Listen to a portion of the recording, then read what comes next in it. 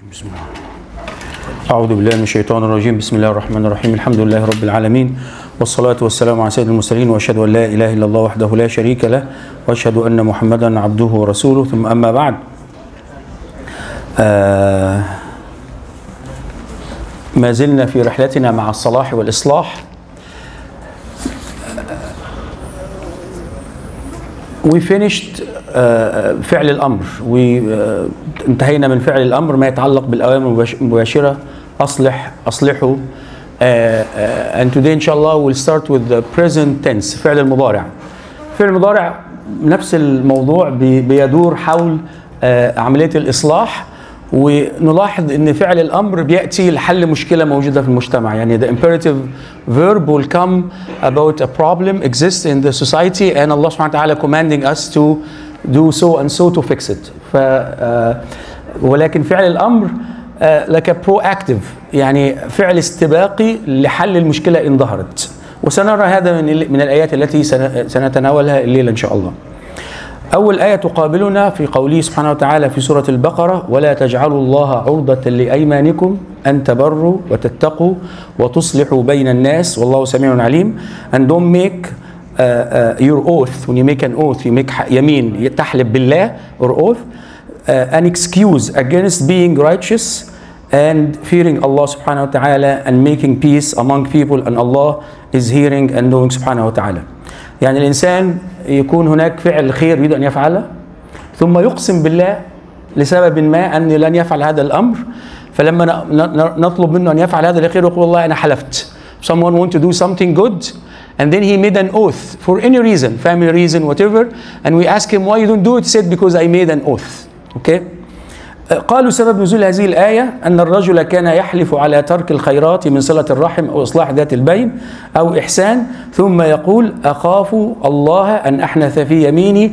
فيترك البر إرادة البر في يميني. يعني same what I said. Just he will make an oath and he will leave the, the, the good things to do because he made uh, an oath. فقيل لا تجعلوا ذكر الله مانعا بسبب هذه الأيمان عن فعل البر والتقوى. Another uh, reason for this آية قيل أنها نزلت في الصديق رضي الله عنه أبو بكر الصديق لما حلف ألا ينفق على مصطح ابن خالته وكان من الفقراء المهاجرين لما وقع في إفك عائشة رضي الله عنها. You know the story about uh, uh, the lie or the ifk they said about أم المؤمنين رضي الله عنها عائشة and one of the co- uh, uh, cousins or relative to Abu Bakr الصديق his name is مصطح and he talked about Aisha in a bad way. So Abu Bakr made an oath by Allah he will not give him money anymore. So العلماء said one of the reason for to reveal this ayah is the story of Abu Bakr uh, and Mistah and Allah subhanahu wa ta'ala commanding us to be good to them even if they talk bad uh, about us.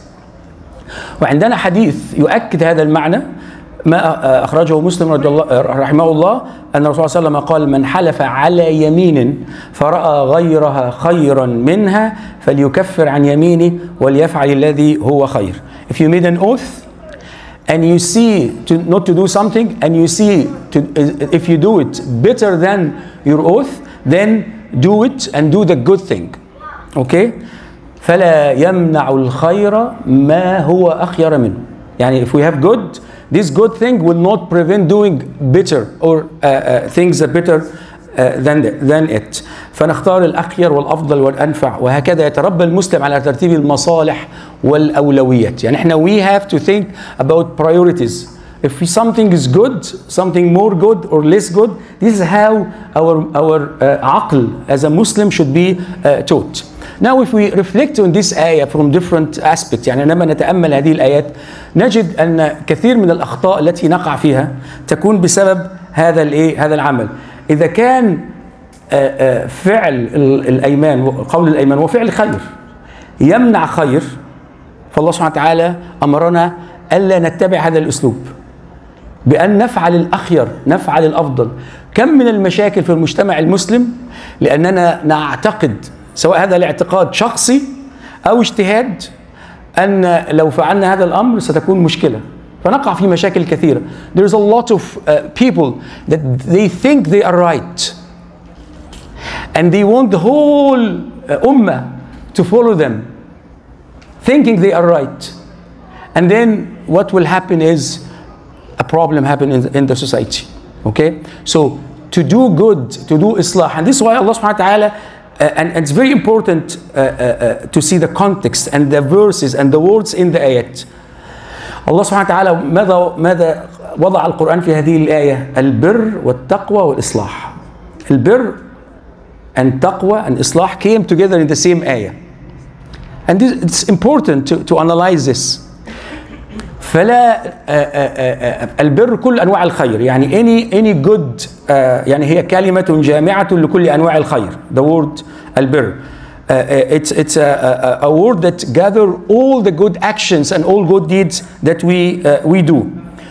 فننظر مثلا في آه، محاولة الإصلاح if we try to fix something can we fix it according to our mind or according to the deen of Allah subhanahu wa ta'ala according to birr according to what we agreed about what is good and what is bad what is halal and what is haram it's not up to me is not up to everybody watching you, Asad, because you are very important. Okay? So what, what happened is that when we think that something is good and we try to fix something, we have to fix it, fix it according to al-birr.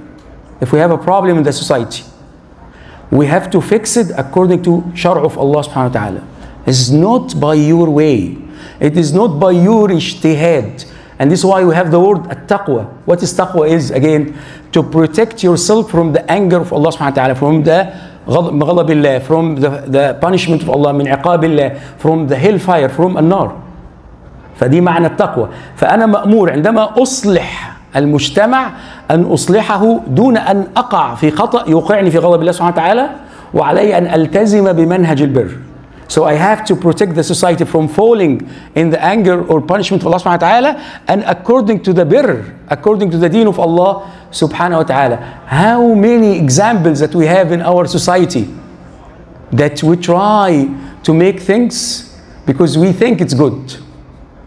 والله إيه يعلم وأنتم لا تعلمون. الله knows and you don't know. قل أأنتم أعلم أم الله? You know better than Allah سبحانه وتعالى. Who has more knowledge? الله سبحانه وتعالى. And this why These آيات are very important to fix our mind. يعني إصلاح العقل المسلم سواء العقل أو القلب. نحن عندما نتكلم عن كثير من الأمور عن القدر وعن كيف آه، آه، الأسئلة الصعبة في العقيدة. There's a lot of difficult questions. في- in عقيدة and قدر how Allah knows and what will happen and there is a simple step if you make everything is easy يقولون ايه العقل دابة تصل بها إلى السلطان ولا تدخل بها عليه your عقل your mind is a horse you take it to the palace of the king but the moment you are in on the door of the king what do you do you leave your horse outside and you walk in with complete taslim, with complete submission to Allah subhanahu wa ta'ala. Your aql took you all the way to accept Allah subhanahu wa ta'ala as your Rabb. That's enough. After that, your aql work only on in, in one thing, which is the, the, the, the narration authentic or not. And we have to have the right understanding. But don't challenge Allah subhanahu wa ta'ala. Not beca- because the kids are doing something wrong, we have to do something wrong to attract them. you know, some people making a sin, and we want to attract people to us. So what we do? We do a sin to attract them to us. And this is why in the in the church, why now in the church when they go in any uh, uh, ceremony, they have music, they play piano and songs and in the church. Why? Because before they don't have music in the church and people, it's boring. and People don't go to church. So we have piano and uh, uh, you know uh, موسيقى ويعزفوا ويغنوا. ها هل ذهب الناس إلى الكنائس؟ Did people went to church in Canada? No, they didn't go. There's only one way أن تحضر إليهم راقصة يعني if you bring a belly dancer they will come but then this will not be a deen So الإصلاح يجب أن نصلح على منهج الله سبحانه وتعالى.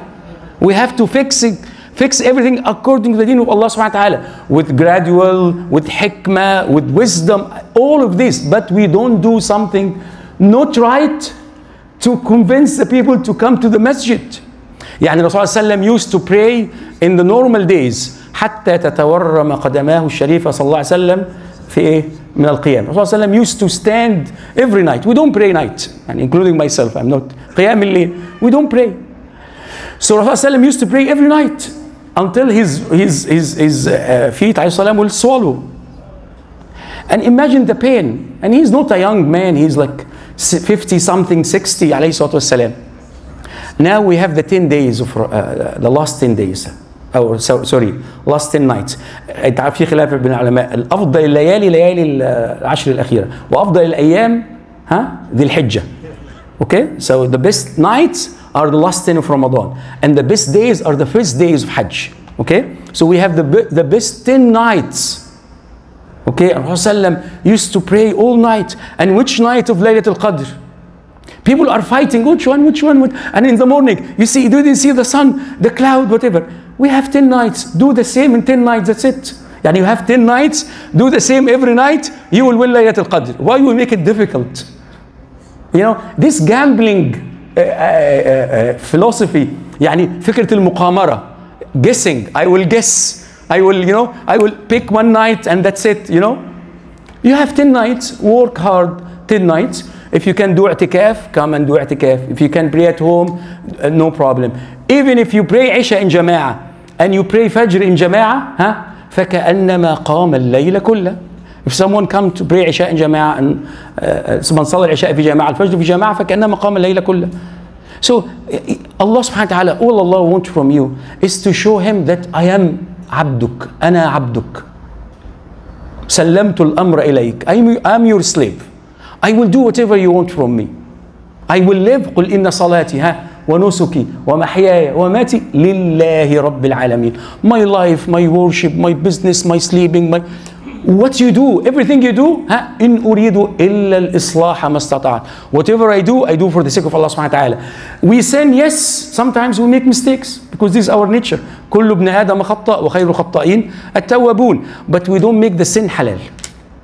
We admit I have shortcoming. Oh Allah, forgive me. Oh Allah, store me, cover me, right? But I don't make the haram halal.